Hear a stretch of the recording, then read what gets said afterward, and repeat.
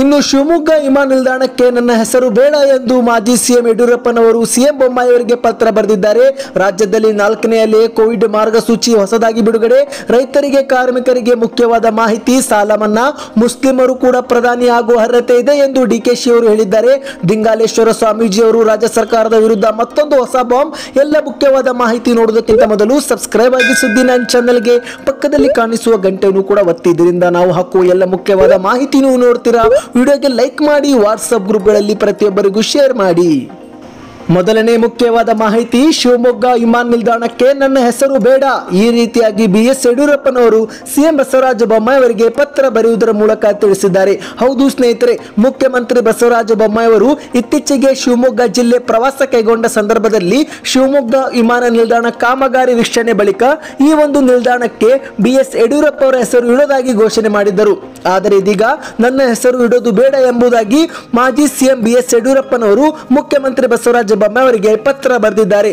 ರಾಜ್ಯದಲ್ಲಿ ರಾಷ್ಟ್ರದ ಅಭಿವೃದ್ಧಿಗೆ ಸಲ್ಲಿಕೆ ಮಾಡಿದ ಅನೇಕ ಮಹನೀಯರು ದೇಶಭಕ್ತರಿದ್ದಾರೆ. ಅವರು ನೀಡಿರುವ ಕೊಡುಗೆಗೆ ಮುಂದೆ ನನ್ನದು ಅಳಿಲು ಸೇವೆ ಮಾತ್ರ. ಆದ್ದರಿಂದ ನನ್ನ ಹೆಸರು ಇಡೋದು ಬೇಡ ಎಂಬುದಾಗಿ ಹೇಳಿದ್ದಾರೆ. ಹೌದು ಸ್ನೇಹಿತರೆ, ಇದೇ ಒಂದು ಹಿನ್ನೆಲೆಯಲ್ಲಿ ನೂತನ ವಿಮಾನ ನಿಲ್ದಾಣಕ್ಕೆ ನನ್ನ ಹೆಸರು ಸೂಕ್ತವಲ್ಲವೆಂದು ಭಾವಿಸುತ್ತೇನೆ ಎಂದು ಬಿ ಎಸ್ ಯಡಿಯೂರಪ್ಪನವರು ಹೇಳಿದ್ದಾರೆ. ಹೌದು ಸ್ನೇಹಿತರೆ, ಸೂಕ್ತ ವೇದಿಕೆಯಲ್ಲಿ ಚರ್ಚೆ ಮಾಡಿ ರಾಷ್ಟ್ರದ ನಾಡಿನ ಅಭಿವೃದ್ಧಿಗೆ ಹಾಗೂ ಇತಿಹಾಸಕ್ಕೆ ಕೊಡುಗೆ ನೀಡಿದಂತ ಮಹನೀಯರ ಹೆಸರನ್ನ ಈ ಒಂದು ಹೊಸ ವಿಮಾನ ನಿಲ್ದಾಣಕ್ಕೆ ನಾಮಕರಣ ಮಾಡಬೇಕೆಂದು ಪತ್ರದಲ್ಲಿ ಸಿಎಂ ಬಸವರಾಜ ಬೊಮ್ಮಾಯಿಯವರನ್ನ ಮಾಜಿ ಸಿಎಂ ಬಿ ಎಸ್ ಯಡಿಯೂರಪ್ಪನವರು ಕೋರಿದ್ದಾರೆ. ಇನ್ನು ಇದೇ ರೀತಿಯಾಗಿ ಎರಡನೇ ಮುಖ್ಯವಾದ ಮಾಹಿತಿ, ರಾಜ್ಯದಲ್ಲಿ ಏಪ್ರಿಲ್ ಇಪ್ಪತ್ತೇಳರ ಬಳಿಕ ಮತ್ತೆ ಕೋವಿಡ್ ಮಾರ್ಗಸೂಚಿ ಪ್ರಕಟ. ಹೌದು ಸ್ನೇಹಿತರೆ, ಸಿಎಂ ಬಸವರಾಜ ಬೊಮ್ಮಾಯಿಯವರಿಂದ ಮುಖ್ಯವಾದ ಮಾಹಿತಿ, ದೆಹಲಿಯಲ್ಲಿ ನಾಲ್ಕನೇ ಅಲೆ ಈಗ ಆರಂಭಗೊಂಡಿದೆ ಎಂದು ಹೇಳಲಾಗುತ್ತಿದ್ದು ಇದೇ ಸಂದರ್ಭದಲ್ಲಿ ನರೇಂದ್ರ ಮೋದಿಯವರು ಎಲ್ಲ ರಾಜ್ಯಗಳ ಮುಖ್ಯಮಂತ್ರಿಗಳೊಂದಿಗೆ ಇದೇ ಒಂದು ಏಪ್ರಿಲ್ ಇಪ್ಪತ್ತೇಳರಂದು ವಿಡಿಯೋ ಕಾನ್ಫರೆನ್ಸ್ ಅನ್ನ ನಡೆಸಲಿದ್ದಾರೆ. ಈ ಒಂದು ವಿಡಿಯೋ ಕಾನ್ಫರೆನ್ಸ್ ಬಳಿಕ ಕರ್ನಾಟಕದಲ್ಲಿ ಮತ್ತೆ ಕೊರೋನಾ ನಿಯಂತ್ರಣಕ್ಕಾಗಿ ಮಾರ್ಗಸೂಚಿ ಪ್ರಕಟಣೆ ಆಗಲಿದೆ. ಹೌದು ಸ್ನೇಹಿತರೆ, ಇದೇ ಕುರಿತಂತೆ ಸಿಎಂ ಬಸವರಾಜ ಬೊಮ್ಮಾಯಿ ಅವರು ಮಾತನಾಡಿ ಮಾಹಿತಿ ನೀಡಿದ್ದಾರೆ. ಕೊರೋನಾ ನಿಯಂತ್ರಣಕ್ಕೆ ಕೇಂದ್ರ ಸರ್ಕಾರ ಸ್ಪಷ್ಟ ನಿರ್ದೇಶನ ನೀಡಿದೆ. ಅಷ್ಟೇ ಅಲ್ಲದೆ, ಏಪ್ರಿಲ್ ಇಪ್ಪತ್ತೇಳರಂದು ನರೇಂದ್ರ ಮೋದಿಯವರು ವಿಡಿಯೋ ಕಾನ್ಫರೆನ್ಸ್ ಮೂಲಕ ಸೂಚನೆ ಕೂಡ ನೀಡಲಿದ್ದಾರೆ. ಆ ಒಂದು ಬಳಿಕ ರಾಜ್ಯದಲ್ಲಿ ಮತ್ತೆ ಕೋವಿಡ್ ನಿಯಂತ್ರಣಕ್ಕಾಗಿ ಮಾರ್ಗಸೂಚಿಗಳನ್ನು ಪ್ರಕಟಿಸೋದಾಗಿ ತಿಳಿಸಿದ್ದಾರೆ ಸ್ನೇಹಿತರೆ. ಕಳೆದ ಕೊರೋನಾ ಮೊದಲನೇ ಅಲೆ, ಎರಡನೇ ಅಲೆ ಹಾಗೂ ಮೂರನೇ ಅಲೆ ಆಧರಿಸಿ ಈಗ ನಿಯಂತ್ರಣ ಕ್ರಮದ ಸ್ಪಷ್ಟ ಮುನ್ನೆಚ್ಚರಿಕೆ ವಹಿಸಲಾಗುತ್ತಿದ್ದು, ತಜ್ಞರು ಕೂಡ ಈಗಾಗಲೇ ವೈರಸ್ ಯಾವ ಮಾದರಿಯಲ್ಲಿದೆ ಎಂಬುದನ್ನು ಪತ್ತೆ ಹಚ್ಚಿದ್ದಾರೆ. ತಜ್ಞರ ಸಲಹೆ ಮೂಲಕ ನಾವು ನರೇಂದ್ರ ಮೋದಿ ಅವರೊಂದಿಗೆ ವಿಡಿಯೋ ಸಂವಾದ ಬಳಿಕ ರಾಜ್ಯದಲ್ಲಿ ಸೋಂಕಿನ ನಿಯಂತ್ರಣಕ್ಕಾಗಿ ಮತ್ತೆ ಹೊಸದಾಗಿ ಮಾರ್ಗಸೂಚಿಯನ್ನ ಪ್ರಕಟಿಸುವುದಾಗಿ ಸಿಎಂ ಬಸವರಾಜ ಬೊಮ್ಮಾಯಿ ಅವರು ಹೇಳಿದ್ದಾರೆ. ಸ್ನೇಹಿತರೆ, ನಿಮ್ಮ ಪ್ರಕಾರ ರಾಜ್ಯದಲ್ಲಿ ಮತ್ತೆ ಹೊಸದಾಗಿ ಮಾರ್ಗಸೂಚಿ ಬಿಡುಗಡೆ ಆಗಬೇಕು ಅಥವಾ ಆಗಬಾರದು ಎಂಬುದನ್ನು ನೀವು ಕಮೆಂಟ್ ಮಾಡಿ. ಇನ್ನು ಮೂರನೇ ಮುಖ್ಯವಾದ ಮಾಹಿತಿ, ಕಟ್ಟಡ ಕಾರ್ಮಿಕರಿಗೆ ಕರ್ನಾಟಕದಲ್ಲಿ ರಿಯಾಯಿತಿ ದರದಲ್ಲಿ ಈಗ ಬಸ್ ಪಾಸ್. ಹೌದು ಸ್ನೇಹಿತರೆ, ರಾಜ್ಯ ಕಟ್ಟಡ ಕಾರ್ಮಿಕರಿಗೆ ಬಿಎಂಟಿಸಿ ವ್ಯಾಪ್ತಿಯಲ್ಲಿ ನೀಡುತ್ತಿದ್ದ ರಿಯಾಯಿತಿ ದರದ ಬಸ್ ಪಾಸ್ ಯೋಜನೆಯನ್ನ ರಾಜ್ಯಾದ್ಯಂತ ವಿಸ್ತರಿಸಿ ರಾಜ್ಯ ಸರ್ಕಾರ ಈಗ ಆದೇಶ ಹೊರಡಿಸಿದೆ. ಕರ್ನಾಟಕ ಕಟ್ಟಡ ಮತ್ತು ಇತರೆ ನಿರ್ಮಾಣ ಕಾರ್ಮಿಕರ ಕಲ್ಯಾಣ ಮಂಡಳಿ ವತಿಯಿಂದ ಈ ಒಂದು ಯೋಜನೆ ಅನುಷ್ಠಾನಗೊಳಿಸಲು ಕೂಡ ಸೂಚಿಸಲಾಗಿದೆ. ಹೌದು ಸ್ನೇಹಿತರೆ, ಈ ಒಂದು ಹಿಂದೆ ಬಜೆಟ್ನಲ್ಲಿ ಘೋಷಣೆ ಮಾಡಿದಂತೆ ರಾಜ್ಯಾದ್ಯಂತ ಬಸ್ ಪಾಸ್ ಯೋಜನೆ ವಿಸ್ತರಿಸಲು ಆರ್ಥಿಕತೆ ಇಲಾಖೆ ಈಗ ಏಪ್ರಿಲ್ ಹದಿನಾರರಂದು ಅನುಮೋದನೆ ನೀಡಿದೆ. ಕೆಎಸ್ಆರ್ಟಿಸಿ ಬಸ್ಗಳಲ್ಲೂ ಕೂಡ ಕಟ್ಟಡ ಕಾರ್ಮಿಕರು ಪ್ರಯಾಣಿಸಲು ಈಗ ರಿಯಾಯಿತಿ ದರದ ಬಸ್ ಪಾಸ್ ಅನ್ನು ನೀಡಬಹುದು. ಆದರೆ ರಾಜ್ಯ ಸರ್ಕಾರದಿಂದ ಬಜೆಟ್ನಲ್ಲಿ ಇದಕ್ಕೆ ಅನುದಾನ ಇದುವರೆಗೆ ಇಟ್ಟಿಲ್ಲ. ಹೀಗಾಗಿ ಕಾರ್ಮಿಕ ಕಲ್ಯಾಣ ಮಂಡಳಿ ಅನುದಾನವನ್ನೇ ಬಳಸಿಕೊಂಡು ಈ ಒಂದು ಯೋಜನೆ ಅನುಷ್ಠಾನಗೊಳಿಸಬೇಕು ಎಂದು ಈಗ ಷರತ್ತುಬದ್ಧ ಒಪ್ಪಿಗೆ ನೀಡಲಾಗಿದೆ ಸ್ನೇಹಿತರೆ. ಒಟ್ಟಿನಲ್ಲಿ ಕಟ್ಟಡ ಕಾರ್ಮಿಕರಿಗೆ ರಾಜ್ಯಾದ್ಯಂತ ರಿಯಾಯಿತಿ ದರದಲ್ಲಿ ಬಸ್ ಪಾಸ್ ವಿತರಣೆ ಈಗ ಶುರುವಾಗಲಿದೆ. ಇನ್ನು ಇದೇ ರೀತಿಯಾಗಿ ನಾಲ್ಕನೇ ಮುಖ್ಯವಾದ ಮಾಹಿತಿ, ರಾಜ್ಯದಲ್ಲಿ ಇಂದಿನಿಂದ ರಾಗಿ ಬೆಳೆಗಾರರಿಗೆ ಗುಡ್ ನ್ಯೂಸ್ ಹೌದು ಸ್ನೇಹಿತರೆ, ಇಂದಿನಿಂದ ಬೆಂಬಲ ಬೆಲೆ ಅಡಿಯಲ್ಲಿ ರಾಗಿ ಖರೀದಿ ನೋಂದಣಿ ಆರಂಭವಾಗಿದೆ. ಹೌದು, ಕನಿಷ್ಠ ಬೆಂಬಲ ಬೆಲೆ ಯೋಜನೆ ಅಡಿಯಲ್ಲಿ ರೈತರಿಂದ ರಾಗಿ ಖರೀದಿಗೆ ಇಂದಿನಿಂದ ನೋಂದಣಿ ಆರಂಭವಾಗಲಿದೆ. ಈ ಒಂದು ಮೂಲಕ ರಾಜ್ಯಾದ್ಯಂತ ರಾಜ್ಯ ಸರ್ಕಾರ ಒಟ್ಟು ಒಂದು ಪಾಯಿಂಟ್ ಹದಿನಾಲ್ಕು ಲಕ್ಷ ಮೆಟ್ರಿಕ್ ಟನ್ ರಾಗಿಯನ್ನು ಖರೀದಿಸಲು ಮುಂದಾಗಿದೆ. ಹೌದು ಸ್ನೇಹಿತರೆ ಅಂದ ಹಾಗೆ ಕರ್ನಾಟಕ ಆಹಾರ ಮತ್ತು ನಾಗರಿಕ ಸರಬರಾಜು ಇಲಾಖೆ ಆಹಾರ ನಿಗಮದ ಮೂಲಕ ಪ್ರತಿ ಕ್ವಿಂಟಲ್ ರಾಗಿಗೆ ಮೂರು ಸಾವಿರದ ಮುನ್ನೂರ ಎಪ್ಪತ್ತೇಳು ರೂಪಾಯಿನಂತೆ ರೈತರಿಂದ ಖರೀದಿಸಲಿದೆ. ಈ ಮೊದಲು ಕೇಂದ್ರ ಸರ್ಕಾರ ಎರಡು ಪಾಯಿಂಟ್ ಒಂದು ಲಕ್ಷ ಮೆಟ್ರಿಕ್ ಟನ್ ರಾಗಿ ಖರೀದಿ ಮಾಡಿತ್ತು. ಈಗ ಅದೇ ಒಂದು ನಂತರ ರೈತಪರ ಸಂಘಟನೆಗಳು ಸೇರಿದಂತೆ ಹಲವರು ಮತ್ತಷ್ಟು ರಾಗಿಯನ್ನು ಕನಿಷ್ಠ ಬೆಂಬಲ ಬೆಲೆ ಯೋಜನೆಯಡಿಯಲ್ಲಿ ಖರೀದಿಸುವಂತೆ ರಾಜ್ಯಾದ್ಯಂತ ಪ್ರತಿಭಟನೆ ಮಾಡಿದ್ದರು. ಇದೇ ಒಂದು ಪ್ರತಿಭಟನೆ ನಡೆಸಿದ ಕಾರಣ ಕೇಂದ್ರ ಸರ್ಕಾರದ ಅನುಮತಿ ಪಡೆದ ನಂತರ ಈಗ ಮತ್ತೆ ರಾಜ್ಯ ಸರ್ಕಾರ ರಾಗಿಯನ್ನ ಖರೀದಿಸಲು ಇಂದಿನಿಂದ ನೋಂದಣಿಯನ್ನ ಆರಂಭ ಮಾಡಿದೆ ಸ್ನೇಹಿತರೆ. ನೀವು ಕೂಡ ಏನಾದರೂ ರಾಗಿ ಬೆಳೆಯವರಾಗಿದ್ದರೆ ಕಮೆಂಟ್ನಲ್ಲಿ ರಾಗಿ ಅಂತ ಮರೆಯದೆ ಹೇಳಿ. ಇನ್ನು ಮತ್ತೊಂದು ಮುಖ್ಯವಾದ ಮಾಹಿತಿ ರಾಜ್ಯ ಕರ್ನಾಟಕದಲ್ಲಿ ರೈತರ ಆತ್ಮಹತ್ಯೆಗಳು ಈಗ ಇಳಿಮುಖವಾಗಿವೆ. ಹೌದು ಸ್ನೇಹಿತರೆ, ಇದಕ್ಕೆ ಕಾರಣ ಮಳೆ, ಬೆಳೆ ಮತ್ತು ಸಾಲ ಮನ್ನಾ. ಹೌದು ಸ್ನೇಹಿತರೆ, ರಾಜ್ಯದಲ್ಲಿ ರಾಜಕೀಯವಾಗಿ ತಳ್ಳನ ಮೂಡಿಸುತ್ತಿದ್ದ ರೈತರ ಆತ್ಮಹತ್ಯೆ ಪ್ರಕರಣಗಳ ಸಂಖ್ಯೆ ಈಗ ಇತ್ತೀಚಿನ ವರ್ಷಗಳಲ್ಲಿ ಇಳಿಮುಖೆಯಾಗಿದ್ದು ಒಂದು ಗುಡ್ ನ್ಯೂಸ್ ಆಗಿದೆ. ಹೌದು ಸ್ನೇಹಿತರೆ, ಈ ಒಂದು ಹಿಂದೆ ರಾಜ್ಯದಲ್ಲಿ ದಿನಾಲೂ ಕೂಡ ರೈತರು ನೇಣಿಗೆ ಶರಣಾಗುತ್ತಿದ್ದ ಘಟನೆಗಳು ಸರ್ಕಾರಕ್ಕೆ ಬಹುದೊಡ್ಡ ತಲೆನೋವಾಗಿತ್ತು ಆದರೆ ಇತ್ತೀಚಿನ ದಿನಗಳಲ್ಲಿ ರಾಜ್ಯದ ರೈತರ ಆತ್ಮಹತ್ಯೆ ಪ್ರಕರಣ ಕಡಿಮೆ ಆಗಿದೆ ಇದಕ್ಕೆ ಕಾರಣ ಮಳೆ, ಬೆಳೆ ಮತ್ತು ಸಾಲ ಮನ್ನದಂತ ಸರ್ಕಾರದ ಕೊಡುಗೆಗಳು. ಹೌದು ಸ್ನೇಹಿತರೆ, ಈ ಒಂದು ಹಿಂದೆ ಎಸ್ ಎಂ ಕೃಷ್ಣ ಅಧಿಕಾರಾವಧಿಯಲ್ಲಿ ಸಂಭವಿಸಿದ ರೈತರ ಆತ್ಮಹತ್ಯೆ ಸರಣಿಯಾಗಿತ್ತು. ಸರ್ಕಾರವನ್ನೇ ಅಳುಗಾಡಿಸಿತ್ತು ಸಾಲು ಸಾಲು ಬರದ ಹಿನ್ನೆಲೆಯಲ್ಲಿ ರೈತರ ಆತ್ಮಹತ್ಯೆ ಪ್ರಕರಣಗಳು ಹೆಚ್ಚಿಗೆ ಆಗಿದ್ದವು. ಪ್ರತಿದಿನ ರೈತರ ಆತ್ಮಹತ್ಯೆ ಪ್ರಕರಣ ಬಗ್ಗೆ ಎಸ್ ಎಂ ಕೃಷ್ಣ ವಿರುದ್ಧ ಪ್ರತಿಪಕ್ಷಗಳು ಮುಗಿಬೀಳ್ತಾ ಇದ್ದವು. ಬಳಿಕ ರೈತರ ಹಾಗೂ ಗ್ರಾಮೀಣ ಭಾಗದ ಜನರ ಆಕ್ರೋಶಕ್ಕೂ ಕೂಡ ತುತ್ತಾಗಿ ಎಸ್ ಎಂ ಕೃಷ್ಣ ನೇತೃತ್ವದ ಕಾಂಗ್ರೆಸ್ ಸರ್ಕಾರ ಚುನಾವಣೆಯಲ್ಲಿ ಸೋತು ಅಧಿಕಾರವನ್ನೇ ಕಳೆದುಕೊಳ್ಳಬೇಕಾಯಿತು. ಹೌದು ಸ್ನೇಹಿತರೆ ಹತ್ತೊಂಬತ್ನೂರ ತೊಂಬತ್ತೆಂಟರಿಂದ ಎರಡು ಸಾವಿರದ ಆರರವರೆಗೆ ಕರ್ನಾಟಕದಲ್ಲಿ ಸುಮಾರು ಹತ್ತೊಂಬತ್ತು ಸಾವಿರ ರೈತರ ಆತ್ಮಹತ್ಯೆ ಪ್ರಕರಣಗಳು ವರದಿಯಾಗಿದೆ. ಇದರಲ್ಲಿ ವೈಯಕ್ತಿಕ ಕಾರಣಗಳಿಗೆ ಆತ್ಮಹತ್ಯೆ ಮಾಡಿಕೊಂಡ ಪ್ರಕರಣಗಳು ಕೂಡ ಸೇರಿವೆ ಎಂದು ಹೇಳಲಾಗಿದೆ. ಹೌದು ಸ್ನೇಹಿತರೆ ಎಸ್ ಎಂ ಕೃಷ್ಣ ಬಳಿಕ ಬಂದ ಸರ್ಕಾರವೂ ಕೂಡ ರೈತರ ಆತ್ಮಹತ್ಯೆ ಬಿಸಿಯನ್ನು ಅವರಿಗೂ ಕೂಡ ತಟ್ಟಿದೆ. ಅದರಲ್ಲಿ ಸಿದ್ದರಾಮಯ್ಯವರ ಸರ್ಕಾರ, ಯಡಿಯೂರಪ್ಪ ಸರ್ಕಾರವೂ ಕೂಡ ಒಂದಾಗಿದೆ. ಹೌದು ಸ್ನೇಹಿತರೆ, ಸಿದ್ದರಾಮಯ್ಯ ಅವರ ಕಾಲದಲ್ಲಿಯೂ ಕೂಡ, ಅಂದರೆ ಎರಡು ಸಾವಿರದ ಹದಿನೈದು, ಹದಿನಾರರಲ್ಲಿ ಅತಿ ಹೆಚ್ಚು ಅಂದರೆ ಒಂದು ಸಾವಿರ ರೈತರು ಆತ್ಮಹತ್ಯೆ ಮಾಡಿಕೊಂಡಿದ್ದಾರೆ. ಎರಡು ಸಾವಿರದ ಹದಿನೇಳು, ಹದಿನೆಂಟರಲ್ಲಿ ಮತ್ತೆ ಒಂದು ಸಾವಿರ ರೈತರು ಆತ್ಮಹತ್ಯೆ ಮಾಡಿಕೊಂಡಿದ್ದಾರೆ. ಈ ರೀತಿಯಾಗಿ ಸಿದ್ದರಾಮಯ್ಯ ಅವರ ಅಧಿಕಾರಾವಧಿಯಲ್ಲಿ ಮೂರು ವರ್ಷಗಳಲ್ಲಿ ಒಟ್ಟು ಮೂರು ಸಾವಿರ ರೈತರು ಆತ್ಮಹತ್ಯೆ ಮಾಡಿಕೊಂಡಿರುವ ಘಟನೆ ಇದೆ. ಆದರೆ ಶುಭ ಸೂಚಕ ಏನೆಂದರೆ, ಇತ್ತೀಚಿನ ದಿನಗಳಲ್ಲಿ ರಾಜ್ಯದಲ್ಲಿ ಅನ್ನದಾತನ ಆತ್ಮಹತ್ಯೆ ಪ್ರಕರಣಗಳು ಇಳಿಕೆಯಾಗಿವೆ. ಅದರಲ್ಲಂತೂ ಕಳೆದ ನಾಲ್ಕು ವರ್ಷಗಳಲ್ಲಿ ನೇಗಿಲ ಯೋಗಿಯ ಆತ್ಮಹತ್ಯೆ ಪ್ರಮಾಣ ಕಡಿಮೆ ಆಗುತ್ತಿರುವುದು ಸರ್ಕಾರಕ್ಕೂ ಸೇರಿ ನಾವೆಲ್ಲರೂ ನಿಟ್ಟುಸಿರು ಬಿಡುವ ಒಂದು ವಿಚಾರವಾಗಿದೆ. ಅದಕ್ಕಾಗಿ ವಿಡಿಯೋಗೆ ಒಂದು ಲೈಕ್ ಮಾಡಿ.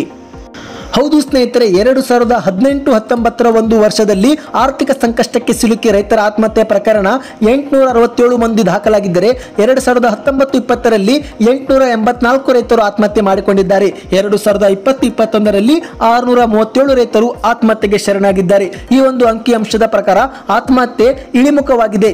ಆದರೆ ಇದಕ್ಕೆ ಪ್ರಮುಖ ಕಾರಣ ಏನೆಂದರೆ ಉತ್ತಮ ಮುಂಗಾರು ಆಗುತ್ತಿರುವುದು ಮತ್ತು ಉತ್ತಮ ಹಿಂಗಾರು ಆಗುತ್ತಿರುವುದು. ಅಷ್ಟೇ ಅಲ್ಲದೆ ಕಳೆದ ನಾಲ್ಕು ವರ್ಷಗಳಲ್ಲಿ ಬರಗಾಲ ಇಲ್ಲ ಉತ್ತಮ ಮಳೆ ಬೆಳೆ ಆಗ್ತಾ ಇದೆ. ಇದರ ಜೊತೆಗೆ ಸರ್ಕಾರದಿಂದ ರೈತರ ಸಾಲ ಮನ್ನಾವು ಕೂಡ ದೊಡ್ಡ ಕೊಡುಗೆ ಆಗಿದೆ ಎಂದು ಅಧಿಕಾರಿಗಳು ತಿಳಿಸಿದ್ದಾರೆ. ಹೌದು ಸ್ನೇಹಿತರೆ, ಕುಮಾರಸ್ವಾಮಿ ಅವರ ಮೈತ್ರಿ ಸರ್ಕಾರದ ಸಮಯದಲ್ಲಿ ಸಾಲ ಮನ್ನಾ ಯೋಜನೆ ರೈತರ ನೆರವಿಗೆ ಬಂದಿದೆ. ಇನ್ನು ಇದೇ ರೀತಿ ಕೇಂದ್ರ ಸರ್ಕಾರದ ಕಿಸಾನ್ ಸಮಾನ್ ಯೋಜನೆಯು ಕೂಡ ರೈತರಿಗೆ ಆರ್ಥಿಕ ಸಂಕಷ್ಟದಿಂದ ಹೊರಗೆ ಬರುವಲ್ಲಿ ಸಹಾಯ ಮಾಡಿದೆ.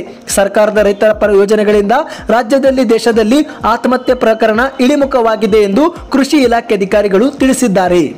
ಇನ್ನು ಇದೇ ನಡುವೆ ಮತ್ತೊಂದು ಮುಖ್ಯವಾದ ಮಾಹಿತಿ, ಮುಸ್ಲಿಮರಿಗೂ ಕೂಡ ಪ್ರಧಾನಿಯಾಗುವ ಅರ್ಹತೆ ಇದೆ. ಈ ರೀತಿಯಾಗಿ ಡಿ ಕೆ ಶಿವಕುಮಾರ್ ಅವರು ಈಗ ಮಾತನಾಡಿದ್ದಾರೆ. ಹೌದು ಸ್ನೇಹಿತರೆ, ವ್ಯಾಪಾರ ಆಚರಣೆಗಳಲ್ಲಿ ಧಾರ್ಮಿಕ ವಿಚಾರಗಳ ಅಡ್ಡುಗೋಡೆಯನ್ನ ತಂದು ಸಮಾಜದಲ್ಲಿ ಬಿಜೆಪಿ ಬುರುಕು ಮೂಡಿಸುವ ಕಾರ್ಯ ಮಾಡ್ತಾ ಇದೆ ಎಂದು ಡಿ ಕೆ ಶಿವಕುಮಾರ್ ಅವರು ದಾವಣಗೆರೆಯಲ್ಲಿ ದೂರಿದ್ದಾರೆ.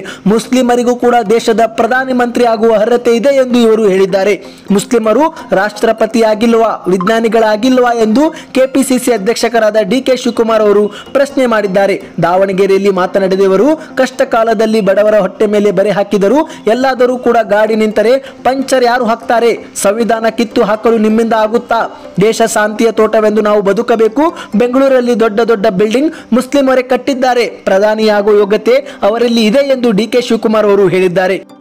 ಹಲಾಲ್ ಪಲಾಲ್ ಎಲ್ಲ ಮಾಡಿದ್ದು ಬಿಜೆಪಿಯವರೇ ಎಂದು ಡಿ ಕೆ ಶಿವಕುಮಾರ್ ಅವರು ದೂರಿದ್ದಾರೆ. ನಮ್ಮ ಭಾಗದಲ್ಲಿ ಕಬ್ಬಾಳಮ್ಮ ದೇವಸ್ಥಾನ ಇದೆ. ಅಲ್ಲಿ ಸಾವಿರ ಮರಿ ಕಡಿತಾರೆ. ಕಡಿದ ಮರಿಗಳನ್ನ ಮುಸ್ಲಿಂನವರೇ ಕ್ಲೀನ್ ಮಾಡ್ತಾರೆ. ಕೋಲಾರ ರಾಮನಗರದಲ್ಲಿ ಮಾವಿನ ತೋಪಿಗೆ ಔಷಧಿ ಹೊಡೆಯುವರು ಯಾರು ಎಂದು ಪ್ರಶ್ನೆ ಮಾಡಿದ್ದಾರೆ. ಬಿಜೆಪಿಯವರು ಭೇದ ಮಾಡಿರುವುದರ ಪರಿಣಾಮ ಸಂತೆ ಜಾತ್ರೆಗಳ ಮೇಲೆ ಬಿದ್ದಿದೆ. ಮುಸ್ಲಿಮರಿಗೂ ಕೂಡ ಪ್ರಧಾನಿಯಾಗುವ ಅರ್ಹತೆ ಇದೆ. ರಾಷ್ಟ್ರಪತಿ ವಿಜ್ಞಾನಿಯಾದ ಉದಾಹರಣೆಯೇ ಇಲ್ಲವೇ ಎಂದು ಡಿ ಕೆ ಶಿವಕುಮಾರ್ ಅವರು ಹೇಳಿದ್ದಾರೆ. ಇನ್ನು ರಾಜ್ಯ ಸರ್ಕಾರದ ವಿರುದ್ಧ ಮತ್ತೆ ಹೊಸ ಬಾಂಬ್ ಸಿಡಿಸಿದ್ದಾರೆ ದಿಂಗಾಲೇಶ್ವರ ಶ್ರೀಗಳು. ಹೌದು ಸ್ನೇಹಿತರೆ, ನಗರದಲ್ಲಿ ಕುರಿತು ಸುದ್ದಿಗಾರರೊಂದಿಗೆ ಮಾತನಾಡಿದ ಶ್ರೀಗಳು ಶಿರಹಟ್ಟಿ ಮಠದ ಹೆಸರಿನಲ್ಲಿ ಬಿಡುಗಡೆಯಾದ ಎರಡು ಕೋಟಿ ರೂಪಾಯಿ ಅನುದಾನದಲ್ಲಿ ಒಂದು ಪಾಯಿಂಟ್ ಇಪ್ಪತ್ತೈದು ಕೋಟಿ ಹಣ ನುಂಗಿ ಹಾಕಿದ್ದಾರೆ ಎಂದು ಮತ್ತೊಂದು ಬಾಂಬ್ ಸಿಡಿಸಿದ್ದಾರೆ. ಹತ್ತು ವರ್ಷ ಕಳೆದರೂ ಕೂಡ ಇನ್ನೂ ಅನುದಾನ ಬಿಡುಗಡೆ ಆಗೇ ಇಲ್ಲ ಎಂದು ರಾಜ್ಯ ಸರ್ಕಾರದ ವಿರುದ್ಧ ಆರೋಪಿಸಿದ್ದಾರೆ. ಬಿಎಸ್ವೈ ಅವಧಿಯಲ್ಲಿ ಶಿರಹಟ್ಟಿ ಫಕೀರೇಶ್ವರ ಮಠಕ್ಕೆ ಎರಡು ಕೋಟಿ ಅನುದಾನ ಮೀಸಲಿಟ್ಟಿದ್ದರು. ಆದರೆ ಆ ಒಂದು ಅನುದಾನ ಜಿಲ್ಲಾಧಿಕಾರಿಯಿಂದ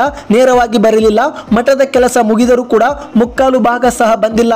ಕೇವಲ ಎಪ್ಪತ್ತೈದು ಲಕ್ಷ ಅಷ್ಟೇ ಬಂದಿದೆ. ಉಳಿದ ಒಂದು ಪಾಯಿಂಟ್ ಇಪ್ಪತ್ತೈದು ಕೋಟಿ ಎಲ್ಲಿ ಹೋಯ್ತು ಎಂದು ಪ್ರಶ್ನೆ ಮಾಡಿದ್ದಾರೆ.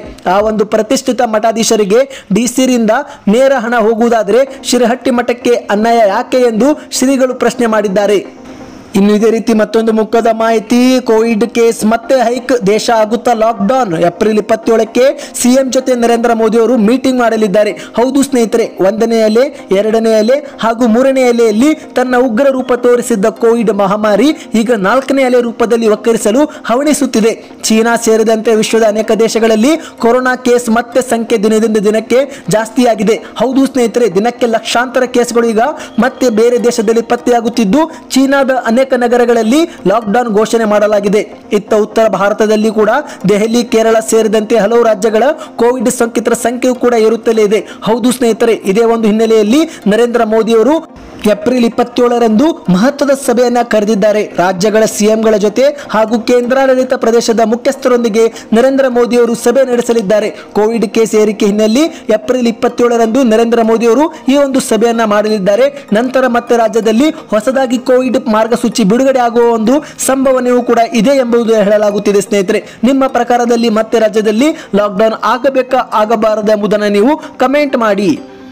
ಇನ್ನು ಕೊನೆಯ ಮುಖ್ಯವಾದ ಮಾಹಿತಿ, ಪೂರ್ಣ ಅವಧಿ ಸರ್ಕಾರ ರಚನೆಯಾದರೆ ತಂಬಾಕಿಗೆ ಹೊಸ ನಿಯಮಾವಳಿ ನೀಡುವುದಾಗಿ ಎಚ್ ಡಿ ಕುಮಾರಸ್ವಾಮಿ ಅವರು ಭರವಸೆಯನ್ನ ನೀಡಿದ್ದಾರೆ. ಹೌದು ಸ್ನೇಹಿತರೆ, ರಾಜ್ಯದಲ್ಲಿ ತಂಬಾಕು ಬೆಳೆಗಾರರಿಗೆ ಬೆಳೆ ಇಲ್ಲದ ಸಂಕಷ್ಟಕ್ಕೆ ಒಳಗಾದಾಗ ಹೋರಾಡಿ ರೈತರಿಗೆ ಬೆಳೆ ಕೊಡಿಸಿದ್ದು ನಮ್ಮ ದೇವೇಗೌಡರು ಎಂದು ಮಾಜಿ ಮುಖ್ಯಮಂತ್ರಿ ಎಚ್ ಡಿ ಕುಮಾರಸ್ವಾಮಿ ಅವರು ಹಣಸೂರಿನಲ್ಲಿ ಹೇಳಿದ್ದಾರೆ. ಹೌದು ಸ್ನೇಹಿತರೆ, ಹುಣಸೂರು ನಗರದ ಸಲೀಂ ಪ್ಯಾಲೇಸ್ನಲ್ಲಿ ಏರ್ಪಡಿಸಿದ್ದ ಜನತಾ ಜಲಧಾರೆ ಕಾರ್ಯಕ್ರಮವನ್ನು ಉದ್ಘಾಟಿಸಿ ಮಾತನಾಡಿದ್ದು, ಜೆಡಿಎಸ್ ಪಕ್ಷವನ್ನ ಮತ ನೀಡಿ ಬೆಂಬಲಿಸಿ ಪೂರ್ಣಾವಧಿ ಸರ್ಕಾರ ಏನಾದರೂ ರಚನೆಯಾದರೆ ತಂಬಾಕಿಗೆ ಹೊಸ ನಿಯಮಾವಳಿ ರೂಪಿಸಲಾಗುವುದು. ನಮ್ಮ ಸರ್ಕಾರದ ಅವಧಿಯಲ್ಲಿ ಈ ಒಂದು ತಾಲೂಕಿನಲ್ಲಿ ಮೂರು ಸಾವಿರಕ್ಕೂ ಹೆಚ್ಚು ರೈತರ ನೂರ ಐವತ್ತು ಕೋಟಿ ರೂಪಾಯಿ ಸಾಲ ಮನ್ನಾ ಮಾಡಿದ್ದರಿಂದ ಇಪ್ಪತ್ತೈದು ಸಾವಿರ ಕುಟುಂಬಗಳಿಗೆ ಅನುಕೂಲವಾಗಿದೆ.